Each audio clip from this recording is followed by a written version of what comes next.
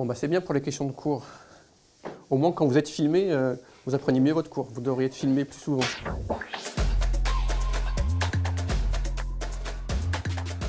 Je vais faire la question 1.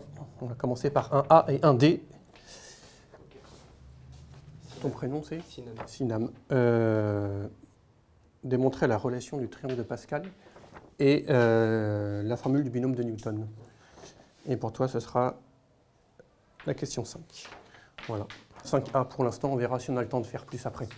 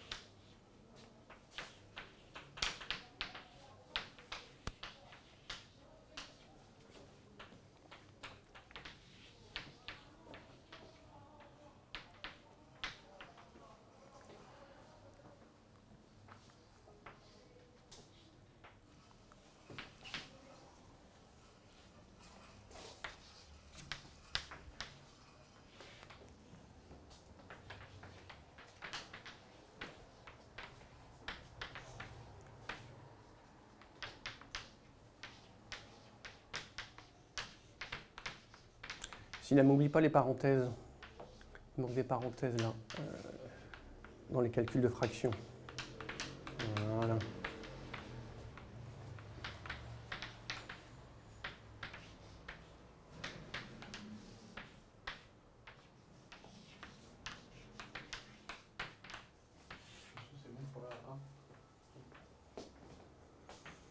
Alors, est-ce que tu peux expliquer ce que tu as fait?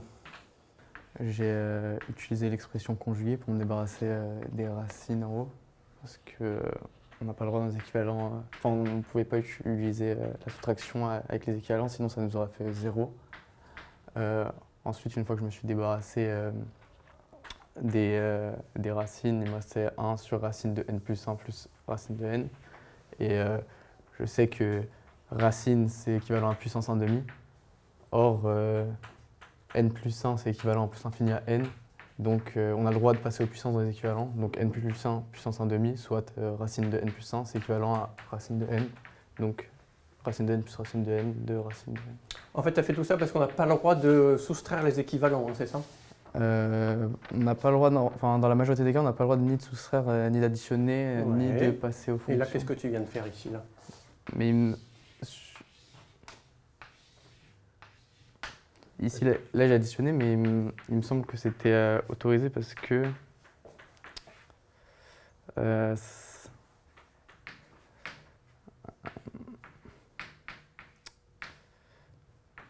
euh, parce que ça n'annulait pas. Oui, alors. dans la, Je suis vraiment pas sûr. là. on n'additionne pas, on ne somme pas des équivalents. Alors ton résultat, il est bon, mais il manque une étape. Donc pour démontrer qu'il y a bien équivalence, il y a une façon de faire. En fait, il faut transformer la somme en produit. Oui, alors en plus, c'est pas égal, c'est- c'est équivalent. hein. Si tu veux transformer la somme en produit, il faut que tu factorises ici par euh, petit n. Donc ça fait n facteur de 1 plus 1 sur n, plus racine de n. Et qu'est-ce qu'on fait ensuite?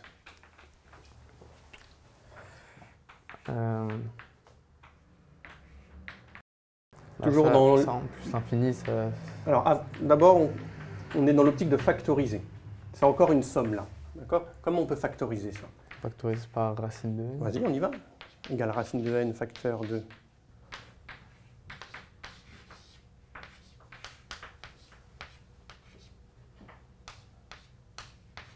Mmh, d'accord. Et tu vois, c'est magique. On avait une somme, on ne pouvait pas gérer. Maintenant, on a un produit. Alors, maintenant, lui, comment on fait pour trouver son équivalent? Bah, en plus infini, euh, 1 sur n euh, tend vers 0, donc ça fait racine de 1. Ouais. Et après, racine de 1, on sait que ça fait 1, 1 plus 1, 2. Et donc ça multiplie par. Voilà, c'est ça. Lui, l'équivalent à 2, lui, l'équivalent à racine de n, et donc l'équivalent 1 sur 2 racine de n. Ok, on passe au 1D, et attention, je ne veux pas de somme d'équivalent euh, sans exception. hein. On peut tout faire sans exception. Donc là, c'est la formule du triangle. Je n'ai pas vu d'escroquerie. Euh, on factorise par n factoriel. Ensuite, euh, qu'est-ce que tu fais pour passer de là à là? Est-ce que tu peux expliquer? Euh, là, on voit que. Alors attendez. On a, euh, on a n-k factoriel ici, n-k factoriel ici, et on a k plus 1 de, ce- de ce côté-là, du coup on multiplie en haut et en bas par k plus 1. Et ici, il nous manque n-k, du coup on multiplie en haut et en bas par n-k. D'accord. Ok, on passe à la formule du binôme. Euh, Cola, c'est bon, la première fonction. Est-ce que tu peux expliquer cette ligne?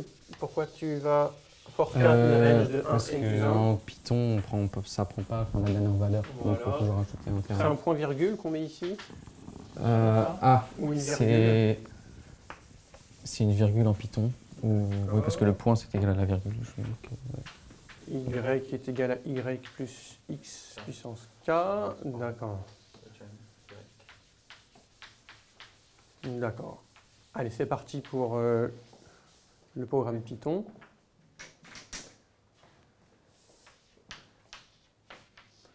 Allez, on essaie d'accélérer un peu pour la formule du binôme. Vous avez des exercices intéressants. Après, ce serait dommage de passer trop de temps sur la question de cours.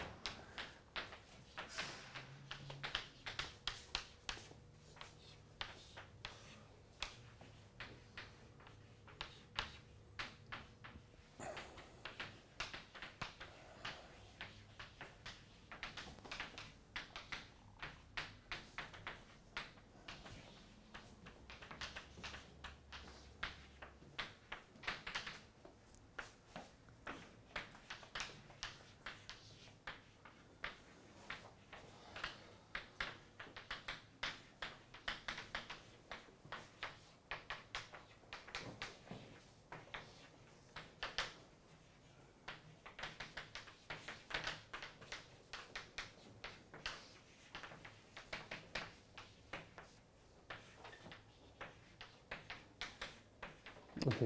C'est bon, tu peux effacer. On va passer à l'exercice pour toi. Tu as été le plus rapide, donc tu as le droit à l'exercice le plus difficile. Oh. Tiens. Hop.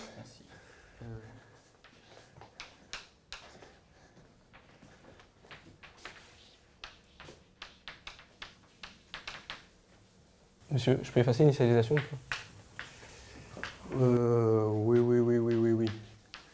Allez, passe à l'hérédité. Hein, Comme je disais tout à l'heure, on a l'oral. C'est pas la peine d'écrire toutes les phrases, on essaie d'aller à l'essentiel. Je vais aller chercher un effaceur à côté. Merci.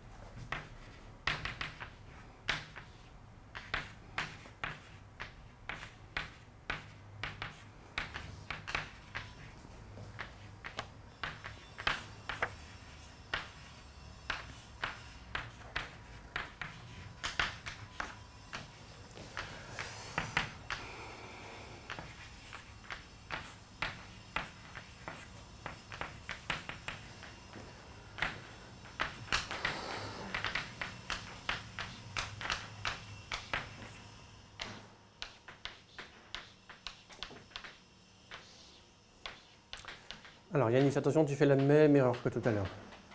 Regarde. Ah ln de 1 plus 1 sur x carré, il est équivalent à 1 sur x carré. Donc ça c'est vrai. Mais qu'est-ce qu'il y a entre les deux? C'est quoi ça?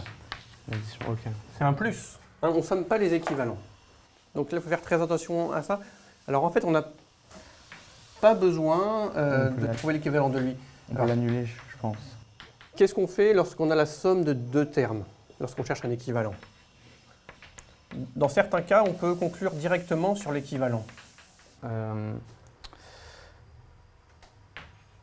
euh, C'est-à-dire, qu'est-ce que vous voulez que je fasse là Dans certains cas, f de x plus g de x, il est équivalent. On peut conclure directement sur l'équivalent.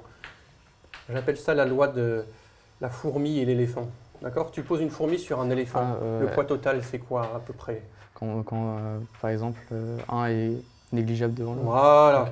Souvent, il y a un dominant, un dominé. Alors, est-ce que c'est le cas ici? Bah, lui, lui domine sur lui parce que, Pourquoi? Parce que lui, en- quand il tend vers plus l'infini, il tend vers 0 Ouais. et lui il tend vers plus l'infini. Voilà. Donc, Donc, f de x plus g de x, là, Donc c'est équivalent à. ln de x carré sur x carré. Est-ce qu'on peut. Améliorer un tout petit peu l'écriture finale Bah, en pesant grand x, on peut dire ln de x sur x. Non, c'est pas utile. Non, on peut laisser comme ça. On peut juste dire que 2 ln de x, euh, ln de x carré, c'est pareil que 2 ln de x. Alors, est-ce qu'on a le droit d'écrire ça aussi? Ln de carré, c'est 2 ln de x. ln de x, il tend vers quoi? Vers plus infini. Et lui, il tend vers quoi. Alors, est-ce qu'on peut simplifier l'équivalent En ln de x. Alors, et- Du coup, j'aurais dit ça. Ouais. En plus infini. tu utilises la même chose que là, hein, c'est ça? Euh, la, né- la négligeabilité. Alors, est-ce qu'on peut l'utiliser dans ce cas-là, justement? Euh, Quelle est la différence entre ce cas de figure et ce cas de figure? Là, c'est une constante, c'est pas une fonction. Euh, oui, mais c'est pas pour ça que ça marche pas. Quelle est une autre différence entre ce cas de figure et ce cas de figure Euh, bah, là, c'est un produit. Là, c'est un produit. Et ouais, quand c'est un produit, ça marche pas cette règle. hein. Hein, le terme, la règle du dominé et du dominant, ça marche uniquement s'il y a un plus. Donc en fait, l'équivalent, euh, on dit qu'il est compatible avec le produit. On peut faire des produits d'équivalent. Donc ça, c'est ou des quotients d'équivalent, ça, ça marche à tous les cas. Par contre, lorsque tu utilises la, la règle du dominé et du dominant, ça marche uniquement s'il y a un plus. Allez, tu peux effacer. On va passer à l'exercice. Euh, Et tu vas faire l'exercice 2.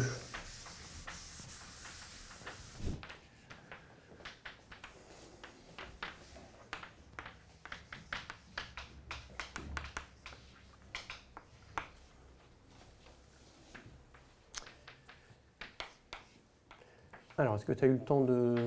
Euh, rentrer dans j'ai l'exercice. Un peu de mal avec euh, les questions des proportions et du fait que ça soit égal. à- Enfin, Alors, à- Euh, Je comprends qu'on on va tirer et il faut. Si on, Alors. il a de 2, bah, il gagne la partie. S'il a moins 2, il perd la partie. D'accord. Alors, si on fait un tirage, quelle est la probabilité d'obtenir un jeton blanc Si on fait un seul tirage dans cette urne? Euh, c'est P sur euh, P plus Q. Oui, alors P, c'est une proportion. hein. Ah. Et donc, euh, P plus Q, ça vaut 1. D'accord? P et Q sont des proportions. Par exemple, s'il y a autant Ouais. de boules blanches que, que de boules noires, c'est 1 demi, 1 demi. D'accord? Donc, la probabilité, ça va être quoi? Si on tire une seule boule blanche, Euh. probabilité d'avoir une blanche, tu dis que c'est P divisé par P plus Q, en soi c'est vrai, mais P plus Q, il vaut 1. D'accord. Donc, finalement, C'est. Euh, bah, P. P. Et la probabilité d'avoir un jeton noir, Euh, bah, c'est Q. c'est Q. Voilà. Donc, ça, c'est pour un tirage. D'accord. Alors maintenant, on fait pas un tirage, on en fait. euh, Jusqu'à euh, avoir 2 ou moins 2. Voilà, c'est ça. Et donc, tu es d'accord que la partie, elle dure au moins deux. Il faut au moins deux tirages pour Oui, finir la partie. oui.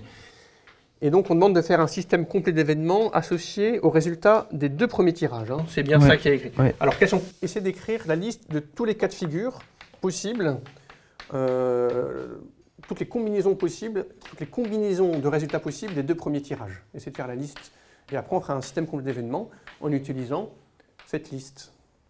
Ok, bon, j'ai vu ce que tu as fait. J'ai pas vu d'escroquerie non plus, ça m'a l'air correct. Bon, tu as passé pas mal de temps, mais ta question de cours était particulièrement longue. Je trouve que tu t'es bien débrouillé. hein. Ok, on peut passer à l'exercice.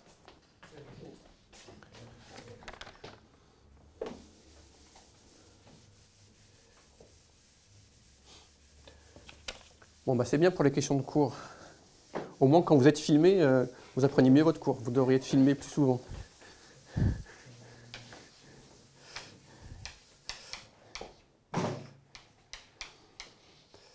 Euh, hop, hop, hop, euh, donc toi, c'est l'exercice 3. D'accord. voilà.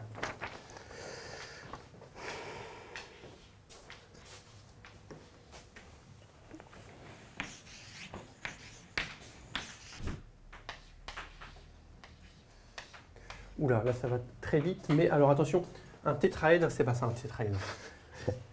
Alors, un tétraèdre, c'est une figure en, en trois dimensions.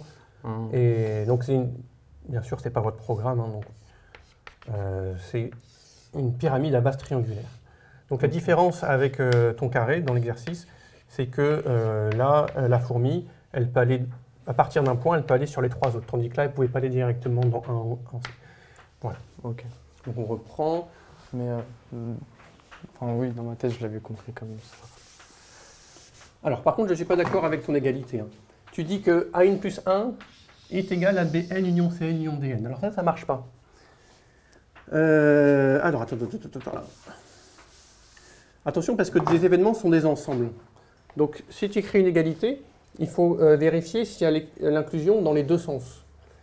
Alors, si AN plus 1 est réalisé, est-ce qu'on est sûr que... euh, ça veut dire quoi, AN plus 1 d'ailleurs? Ça veut dire... C'est qu'au jour, AN euh, au jour N plus 1, Voilà. la grenouille est sur le. C'est pas une grenouille, hein, c'est une euh, fourmi. La fourmi est sur le, Ouais. le sommet A. Oui, voilà. Donc, si elle est euh, en dire- A ou N plus 1, est-ce qu'on est sûr qu'elle soit soit en B, soit en C, soit en D au jour d'avant? Vu qu'obligatoirement elle change Oui. de sommet, euh, elle peut pas être euh, Très bien. sur A. Oui, donc celui-là, il est inclus dans celui-là. D'accord? Si celui-là est réalisé, alors celui-là aussi. Et dans l'autre sens, est-ce que ça marche? Si elle, au jour N, elle est en B, en C ou en D, est-ce qu'on est sûr qu'au jour d'après, Ah elle soit en A Il Non. faut que c'est Alors, inter. si tu veux faire un lien entre les deux événements, qu'est-ce qu'on met? C'est pas un égal Euh, Il faut mettre une inclusion. Ah ok. Parce que. euh. Voilà, d'accord. Donc Oui. on n'a qu'une inclusion. Mais le problème, c'est qu'avec une seule inclusion, on ne peut pas conclure. ok?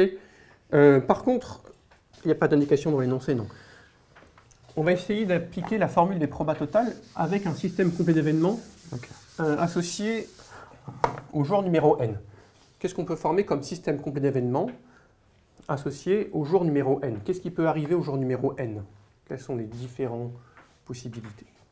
Par rapport à, N, à plus 1 Non, sans considérer A n plus 1 pour l'instant. On est au jour numéro n. Quelles sont les possibilités pour la fourmi? Elle peut être sur AN, BN, CN ou DN. Voilà, c'est ça. Donc, qu'est-ce qu'on prend comme système complet d'événements, justement? AN, N inter. AN, non, il n'y a pas d'inter. AN, virgule. Tu peux l'écrire, AN. Ah, Virgule BN. Oui, c'est ça. Ah ok. Là, on crée un système complet d'événements pour pouvoir appliquer la, la formule des probas totales. J'ai- J'avais jamais fait ça. J'ai jamais fait ça. Non. Jamais utilisé la formule des probas totales. Mais pas comme ça. Non. Donc ça, c'est un système complet d'événements. D'accord? Alors tu peux... Voilà, on va l'écrire un SCE, comme ça, ça fixe les idées. Voilà. Alors maintenant, tu vas appliquer la formule des probas totales pour le calcul de P de n plus 1. Donc on écrit P de n plus 1 égale, et tu appliques la formule des probas totales. Alors, je vais regarder ceci. Ah oui, ça c'est bien. Ça c'est bien. Tu as commencé par exprimer Vn en fonction des AI bars. Et maintenant, tu appliques la probabilité. Et puis, tu utilises la, la bonne formule. Et normalement, tu devras arriver assez rapidement au résultat. Alors, oui, c'est pas mal ce que tu fais. C'est les quatre, c'est les quatre possibilités. Alors, si on, on parle en termes d'événements, Euh, J'ai pas défini BN. euh, il faut être plus précis que ça. Comme il y a plusieurs tirages, il faut mettre des indices, d'accord? D'accord. Donc là, on a, euh, deux. voilà, et on met des intersections. Ah oui, oui. Comme ça, on a bien des événements. Ouais. Euh, c'est B1. B1 inter N2 et N1 inter B2. Donc là, en fait, on a quatre événements. Il faut appliquer la formule des probas totales. D'accord? Avec ce système complet d'événements. Ouais. Euh, efface toute la partie gauche pour faire de la place. Et Euh, voilà, on ne met pas de égal entre les deux parce que c'est pas une Ah, égalité, mais c'est. je laisse la formule pour qu'on Euh, voit. non, non, non, il efface D'accord. tout. Il efface tout. Voilà. Euh, la formule des probas totales avec ce système complet d'événements. C'est la première euh, grosse erreur. Alors, il faut faire très attention à ça. Qu'est-ce qui ne va pas dans cette ligne? C'est une erreur très classique Euh, de débutant. Vous êtes encore débutant en proba. C'est encore le, le début de l'année. Faut justifier qu'on puisse passer au. Non, c'est pas ça. En fait, c'est une erreur d'écriture. Euh. Alors, je te laisse trouver l'erreur tout seul. Je vais voir si c'est une étourderie ou si c'est une erreur plus de compréhension. Non, non, c'est ça qu'il faut regarder. Qu'est-ce qui ne va pas là? C'est le- là, mais je sais pas. On peut écrire des intersections Ah probabilités. bah non, ouais. C'est autorisé, ça? Non, c'est pas autorisé. Non. Alors, des probabilités sont des nombres réels. Donc en fait, je comprends ce que tu voulais dire. Donc si tu l'écris un peu autrement, ça va marcher. Je- combats. Ah oui, oui, tu prends des informations. Oui, non, mais tu fais bien comme ça. C'est pareil, on peut faire un arbre pondéré pour toi. Donc tu as quatre événements, si tu veux, pour simplifier, on les a appelés E E1, E2, E3, E4. Et donc toi, dans ton arbre... Bon, alors après, euh, au bout d'un moment, il faudra savoir écrire Ouais. la formule des probas totales sans dessiner l'arbre. Hein. Essayer de s'affranchir. Et à chaque fois, on s'intéresse à savoir est-ce que W est réalisé ou est-ce que W bar est réalisé. D'accord. OK Donc tu écris P de W égale, et puis tu écris la somme de quatre termes. Est-ce que du coup, en, en écrivant ça comme ça Oui, ça c'est bon. L'indépendance, c'est bon. Allez, c'est bon, on passe à la suite.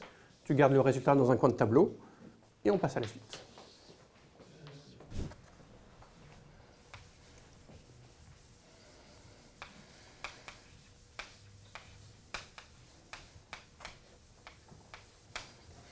Oui, ça c'est bon. Ça c'est bon. Allez, on essaie d'accélérer un tout petit peu, si c'est possible. Si c'est pas possible, tant pis.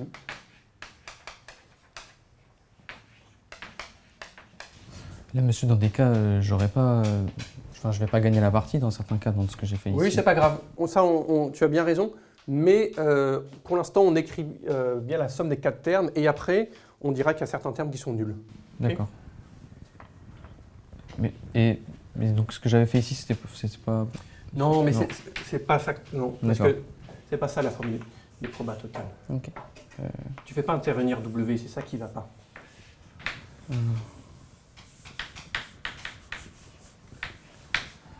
Et là, je, peux, je fais intervenir E de. de- Oui. Oh, d'accord. Donc ça fait P de W inter ou E1 inter Inter W. Alors il manque un, un Ouais, P je- devant. J'aurais plus de place. C'est P2. Ouais.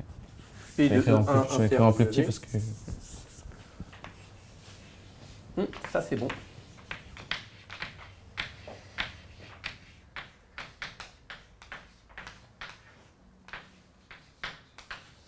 Allez Yanis, ça c'est bon, ça c'est bon. Il n'y a pas de piège, hein. D'accord Voilà. Et le dernier terme, il en manque un, mais il vaut 0, c'est ça Oui, pour moi. Oui. Mais vu qu'il demande d'exprimer en fonction de ouais, P de N aussi. Ouais, mais là, tu, oui, on tu peux laisser comme ça quand même. On peut écrire 0 fois P de AN. Ok. Voilà. Mais bon, c'est pas utile. ok. Il faut bien regarder cette relation dans un coin de tableau et on passe à la suite.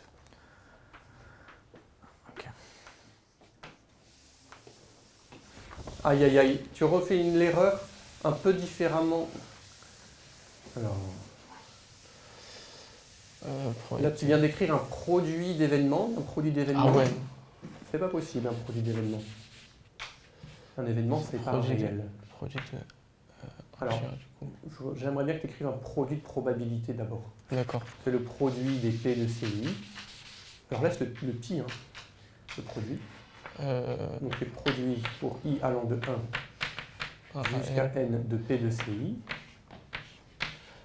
Voilà. Et après, tu remplaces P de CI par un tiers.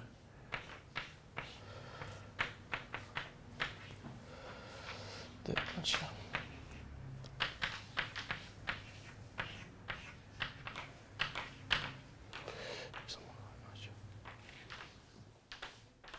Attention, attention, attention. Là, il y a une escroquerie. Ça va pas. Alors, je pense qu'il manque une étape. Une fois que tu as la proba des intersections, on- on- pour chaque euh, intersection, on applique les- la formule des probabilités composées. D'accord? Et, là, tu verras que tu as oublié des termes. Ok, c'est bon pour toi. Tu gardes ça dans un coin et on passe à la suite.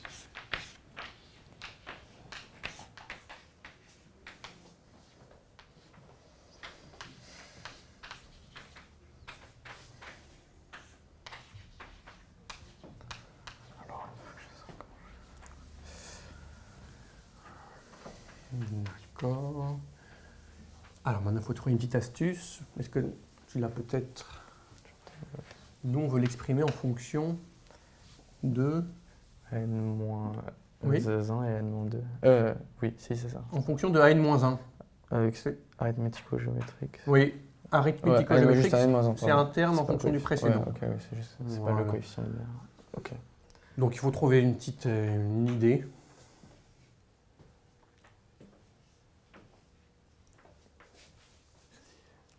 Non, ça va pas ce que tu fais. Alors la formule des probas composés, elle dit quoi? P de A inter B. Sachant. P égale à quoi? Comment on fait pour calculer P de A inter B?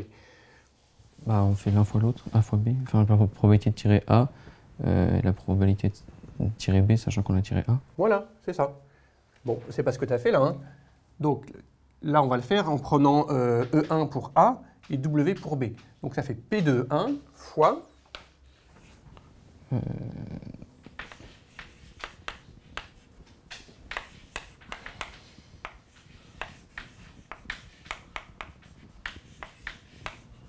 Voilà. Et tu fais pareil pour les trois autres. Et après, on réfléchit à chacune des probabilités. Oui, ça c'est bon. On enchaîne. Ah oui, coup ça? Ça donne un bon petit coup d'accélérateur, ça c'est bien. On continue. Tu gardes le résultat dans un coin, tu peux effacer pour faire de la place. Et on continue.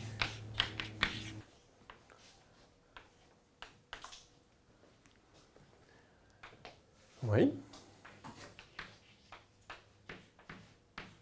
Donc la formule du crible est bien appliquée. Attention, c'est une intersection ici.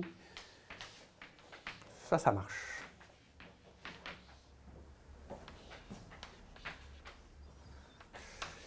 Et là encore, il y a quelque chose de bien.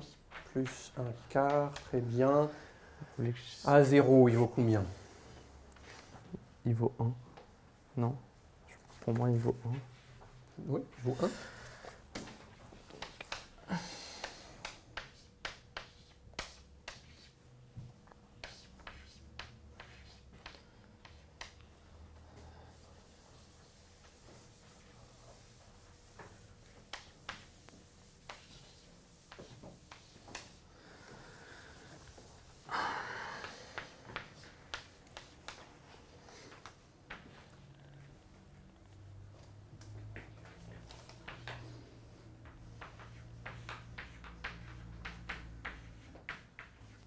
Voilà.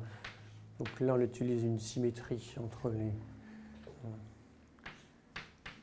euh, événements. Ok, ça c'est bon. Est-ce que tu peux euh, donner la limite en plus l'infini de AN Alors, pas besoin d'écrire, est-ce que tu peux le faire de, tête, expliquer un peu comment évoluent les termes lorsque dans vers l'infini? Ça dépend de ce terme, sachant que moins tiers, c'est entre euh, moins 1 et 1. Euh, ça tend vers 0, il me semble. Alors, je demande la limite de AN. Hein. Tu es sûr que AN tend vers 0 Attendez. Alors.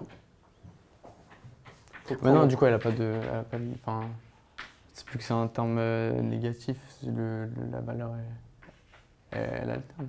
Enfin, elle change. En fonction Alors, de il la va- ça va changer de signe, mais il va y avoir une limite quand même. Donc, le- c'est une suite euh, géométrique Q puissance n. Si Q est compris entre moins 1 et 1, Q puissance n tend vers 0. D'accord? S'il est négatif, c'est pas, c'est pas grave. hein. D'accord Alors, c'est vrai qu'il y a une alternance Et des du coup, signes. elle tend, elle tend vers un quart. Elle tend vers un quart, Parce que voilà. J'avais j'avais omis le signe. Oui, voilà. Alors, Ok, pardon. est-ce que c'est logique euh, d'avoir un quart? Est-ce qu'on aurait pu le prévoir? Est-ce que tu peux interpréter ce résultat? Donc A- AN, c'est la probabilité qu'au jour numéro n, la fourmi est en A. Euh, Tu peux continuer. J'ai vu ce que tu as fait, c'est bon. Tu gardes bien le résultat dans un coin.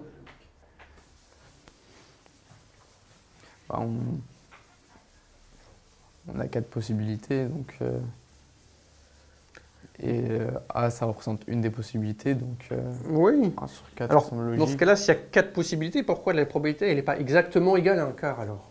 Pourquoi A n'est pas égal à un quart Parce que. euh, Qu'est-ce qui crée un déséquilibre euh, Parce qu'on n'a pas le droit de un, un jour donné de revenir sur le même jour. Oui, mais c'est pas vraiment ça. Ah C'est pas vraiment ça qui crée euh, le déséquilibre. C'est pas ça Euh, qui perturbe en fait l'équiprobabilité. Quelle est l'information qui perturbe l'équiprobabilité euh, Est-ce qu'il y a une symétrie totale du problème selon A, B, C et D? Ok. Alors, euh, J'avais pas compris ça, mais du coup, euh, bah, A, il, les- il, il- enfin, il les relie tous. Enfin, Oui, mais B aussi. Hein. ah oui, oui, ok. Euh, B, il les relie tous. Donc en fait, euh, A, B, C et D, dans le tétraèdre, il y a une symétrie. Donc c'est pas dans le tétraèdre où il n'y a pas la symétrie. C'est- quelle information de l'énoncé fait que en fait, A, B, C et D ne jouent pas complètement le même rôle? Euh, A, c'est la première. euh, première. euh, Enfin, on sait que euh, le premier jour, A est. euh, Enfin, la fourmi est sur le point A. Voilà, et donc ça, ça, ça change complètement les probabilités, parce que ça veut dire que P de A0, il vaut 1, et P de A1, il vaut 0. Et, et voilà. Et donc en fait, ce n'est pas un quart, mais cette information initiale, elle perd de l'influence lorsque les jours défilent. Voilà. Si bien que si tu prends n égale 10 milliards, le- finalement, euh, ce qui s'est passé au début, ça n'a plus d'influence. Voilà, c'est pour ça qu'on trouve un quart. C'est beau, hein? Non? mais il était. euh, J'ai pas l'habitude de. Enfin, au tout début, euh, j'avais mal compris comment mettre le, le- trouver le. SCE. Oui, bah écoute, on est là pour apprendre. hein. Allez, tu peux effacer, on a peut-être le temps de faire un deuxième exercice. Vous avez une colle après ou pas? Non, on a fini le cours. Bon, comme on a commencé en retard, on va faire encore 10 minutes. Un exercice rapide, parce qu'on n'a plus beaucoup de temps. Il faut avoir la limite en plus l'infini de euh, x à la puissance 1 sur x moins x. Voilà. Ok, Euh, j'arrive, j'arrive. Ouh, t'as donné un bon coup d'accélération, mais euh, t'es allé un petit peu trop vite. D'accord. Ça, la valeur de P de W, elle est où finalement? Parce qu'il faut calculer P de W, c'est ça? Ok. Calculer Ah oui. leur P de W. Ça, ça répond pas à la question parce que tu exprimes P de W en fonction de lui-même. Donc finalement, on ne connaît pas P de W. Donc en fait, il faut partir de cette équation. Tu considères que c'est une équation avec une inconnue, où l'inconnue c'est P de W. Si tu résous cette équation, tu vas avoir la valeur de P de W. Ok? D'accord. Moi, je sais pas du tout comment procéder pour la dernière question. Je, je suis bloqué. Oui. Alors, est-ce que tu peux exprimer EN, l'événement EN, à l'aide des événements DN et DN-1 Et je vais l'écrire pour que exprimer EN en fonction de DN et DN-1.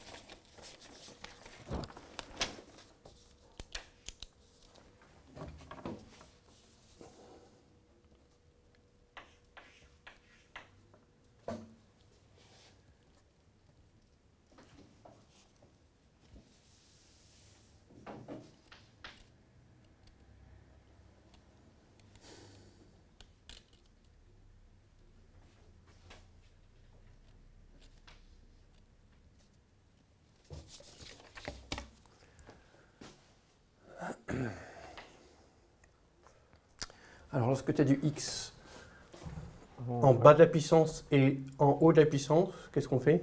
Hum, Pour moi, je me fais E, ln, mais, euh, Oui, c'est ça. Mais mais là, j'ai le moins bah, c'est pas grave. 1. Je, le fais que sur ce terme. Oui, bien sûr. Bien sûr. Et tu vas voir, ça va faire apparaître des choses intéressantes. C'est bon? Non, bah, c'est pas mal. Il faut continuer maintenant. Ouais. Tu factorises par x. En fait, il faut isoler le x.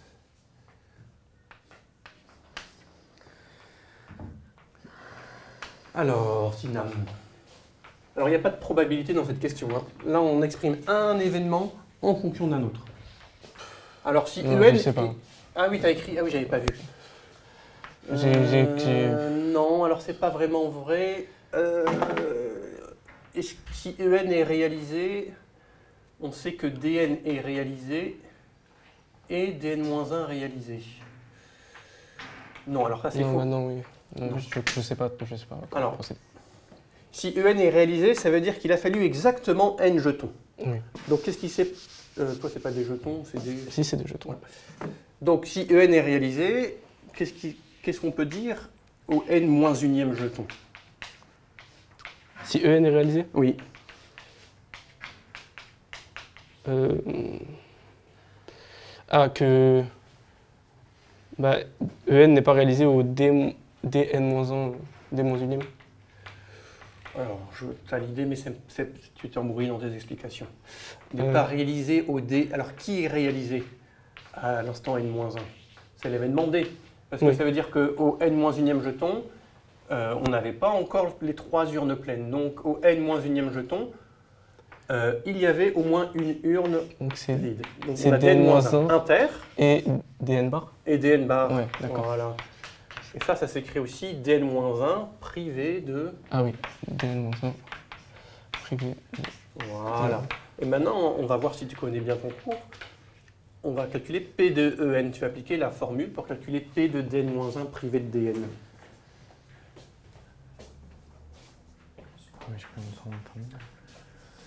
Alors, ok. Non, j'ai une de Donc ça, c'est bon. Par croissance comparée, ln de x sur x tend vers 0.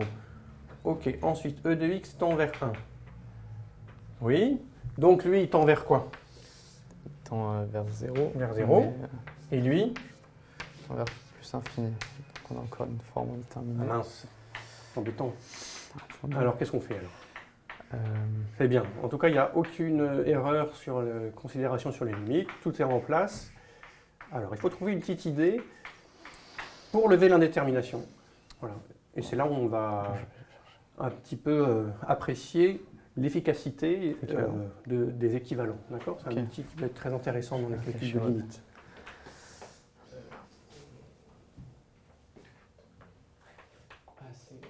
Non, alors, je- on ne sait pas comme ça qu'on va faire. Alors, il y a une formule du cours qui dit que P de A inter B, le privé de B, pardon, c'est P de A moins P de A inter B. D'accord D'accord. Parce que, en fait, ça se voit très bien euh, graphiquement. Là, on a un événement A, là, un événement B. Euh, A privé de B, tu peux le, le assurer au tableau? A privé de B. Ça. Voilà.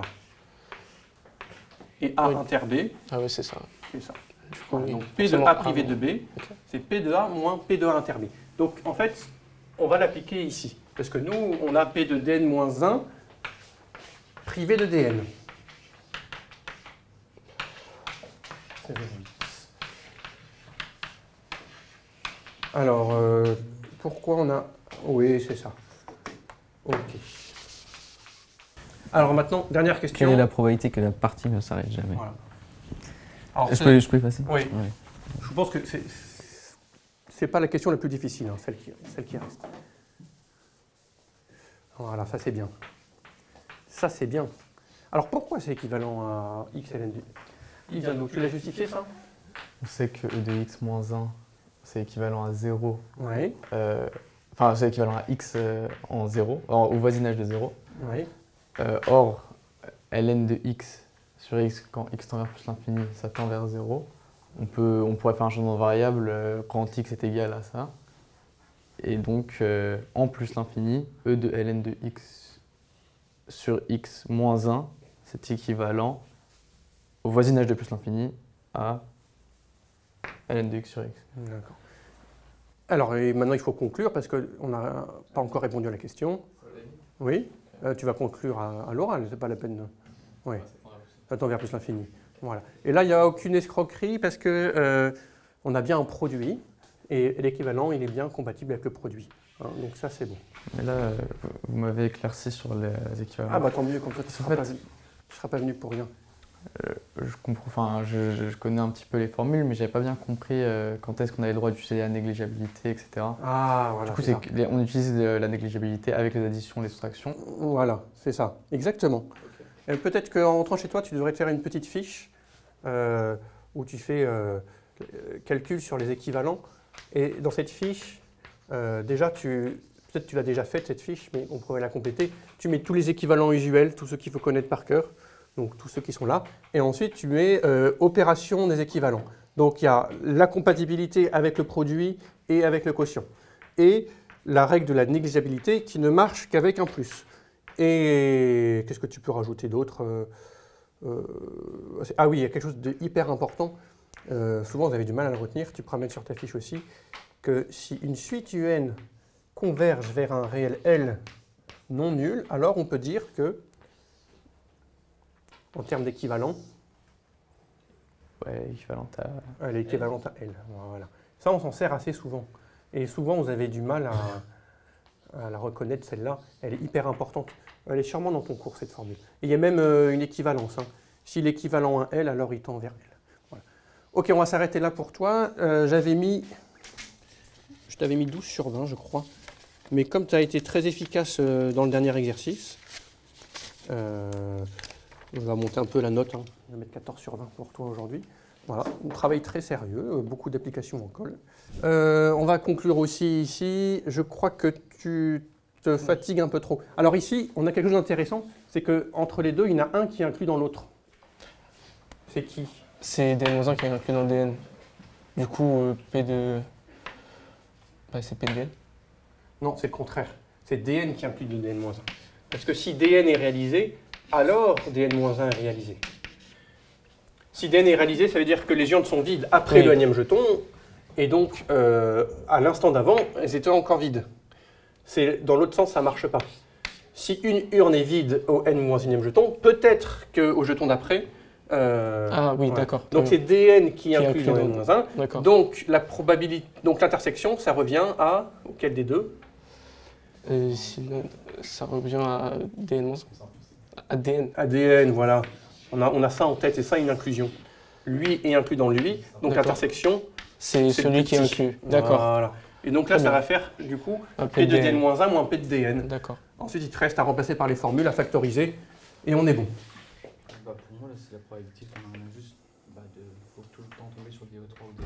euh, Oui, alors on pourrait faire comme ça, mais ce serait vraiment compliqué, parce que ça ferait plein de euh, des intersections infinies. Là, là, on n'est plus en deux tirages, là, on, va, on fait un- Ouais, un tirage. Mais en fait, il y a trois issues possibles pour la partie.